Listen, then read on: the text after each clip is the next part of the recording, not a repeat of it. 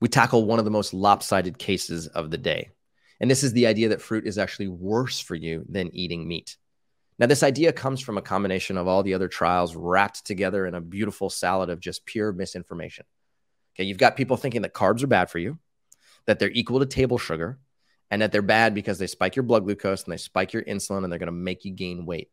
So the answer people come up with is to eat more meat, not to eat more fruit because fruit causes all these issues.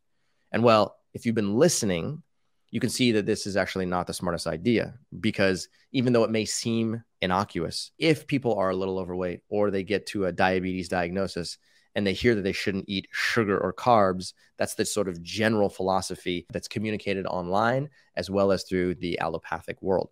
So you cut out all fruits and vegetables, and then boom, before you know it, you're losing weight and you're losing weight quickly. And you know that's a good thing because it's going to help you reduce your level of insulin resistance. It's going to help you reverse this thing called diabetes, which you just got diagnosed with. But then in that moment, you try and eat a bite of fruit, thinking that you've done everything right. And all of a sudden, your high degree of insulin resistance sends your blood glucose very high and it stops you from losing weight.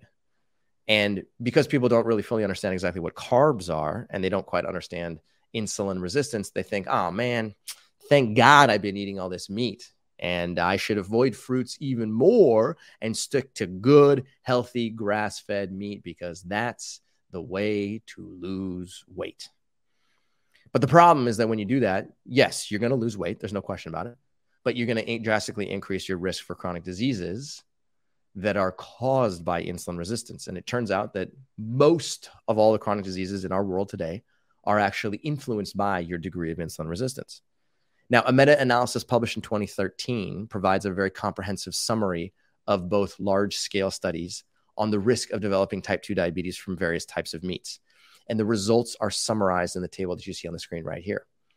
If you choose to eat 100 grams of poultry from chicken, duck, goose, or turkey, that can increase the relative risk of diabetes by between 4 and 8%. That doesn't seem like a very large risk, so you might be willing to take it. If you eat 100 grams of all red meat, including things like beef, pork, veal, horse, lamb, sausage, salami, bacon, and ham, then that can increase your risk for the development of type 2 diabetes by between 13 and 17%. So now that becomes a sizable increase in relative risk. The same thing happens if you eat 100 grams of unprocessed red meat. That can increase your risk for the development of type 2 diabetes by between 15 and 19%. 50 grams of processed meat, so half as much processed meat, like sausage, salami, bacon, and ham, can increase your risk for the development of type 2 diabetes by between 13 and 57%. Think about that number. 13% seems like a small number. 57% is not a small number by any stretch of the imagination. Okay. And that again comes from half as much meat as we did with unprocessed red meat and poultry. And finally, all meat put together, if you consume 100 grams of what is considered total meat, then that can increase your risk for the development of type 2 diabetes by between 12 and 21%. So, again, this is definitely worth paying attention to. Okay. Now, the puzzle piece that connects each of these studies that were included in this meta analysis is very simple that there is a consistent and strong positive association between all meat consumption and type 2 diabetes risk, regardless of the type of meat or the degree of processing. And most importantly, every one of these studies found that a positive association between meat consumption and diabetes risk was present. And that can remove significant doubt about whether the detrimental effects of eating any type of meat, whether red or white or processed or unprocessed, actually exists. Okay. There's another very important consideration to take into account here, which we haven't talked about, which is that processed meats, including salami, bacon, sausages, and hot dogs, to name a few, were given what's called a group one classification by the World Health Organization, which means that there is sufficient scientific evidence that these foods do, in fact, cause cancer. These are, these are not foods that are just maybe associated with the development of cancer and maybe potentially causational. We have plenty of scientific evidence to demonstrate that these foods are carcinogenic without a shadow of a doubt.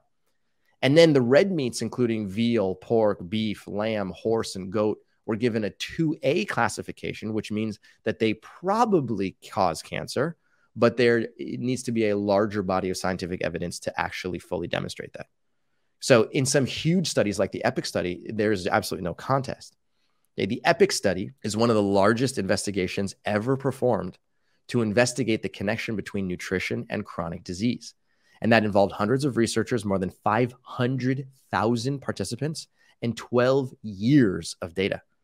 And what researchers discovered was very straightforward, which is that meat, especially processed meats like bacon and cold cuts and sausage and hot dogs and hamburgers, increases your risk for type 2 diabetes, while eating a diet rich in fruits and vegetables reduces your diabetes risk. The EPIC study also revealed that replacing 5% of saturated fat with fructose, whether it's fructose from fruits or, yes, refined sources of fructose, reduces your diabetes risk by 30%. And that replacing 5% of protein with fructose reduces your diabetes risk by 28%. So, what does that mean? It means that whether you're consuming whole fruits or whether you're getting fructose from refined sources, that's a better alternative than eating meat and actually reduces your diabetes risk, even though the common vernacular is that fructose is bad for you and fruit is equal to sugar. Okay. It doesn't add up. Even though mainstream recommendations suggest that eating glucose and fructose from fruits is going to increase your risk for type 2 diabetes, after studying more than a half a million people, EPIC researchers concluded that these monosaccharides, glucose and fructose, actually decrease your risk for type 2 diabetes, especially when they're eaten as substitutes for saturated fat and protein rich foods. And then you can look at the Adventist health studies, the health professionals follow up studies, the nurses' health study, the women's health study. And guess what? They all say the same thing. So, is fruit worse for you than meat? Well, fruits, vegetables, and whole carbohydrates are tied to positive long term health outcomes, as we have talked about ad nauseum on this channel and in this video. Meat of all kinds, especially red meats and processed red meats, are tied to negative long term health outcomes, both for the development of cancer as well as for type 2 diabetes. So, what's the final verdict? Well, if you include thinking about calorie density or insulin resistance, then fruit is actually significantly better for you than meat because it's lower on the calorie density scale. It's been proven to reverse insulin resistance and can help you lose weight into the future. Any of that into consideration, and you're trying to put yourself into ketosis simply because somebody told you that you're going to get results without having to work out more, then the research suggests that you're likely to increase your chronic disease risk despite the fact that you're going to be able to lose weight rapidly. You can be the judge.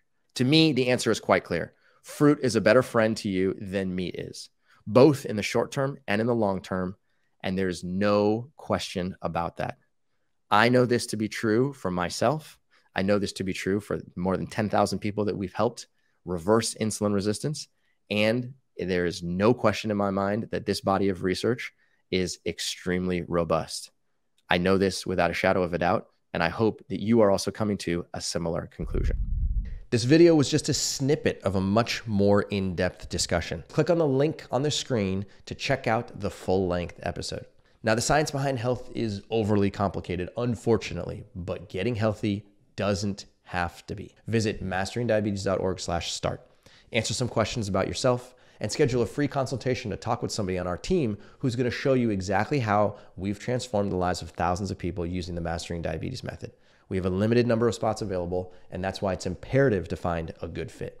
Again, visit masteringdiabetes.org/start to schedule a free zero commitment discovery call and start taking control of your health today.